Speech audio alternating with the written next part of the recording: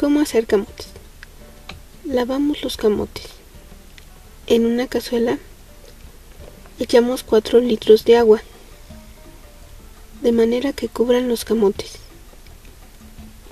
Dejamos hervir 30 minutos. Apagamos. Dejamos que se enfríe y podemos disfrutar nuestro delicioso camote.